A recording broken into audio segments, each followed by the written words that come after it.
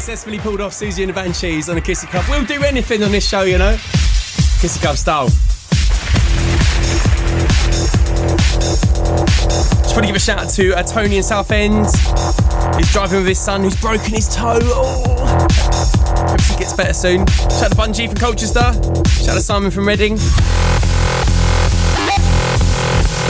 out to JP driving back from Poole after being uh, after a bang hot 16 hour shift.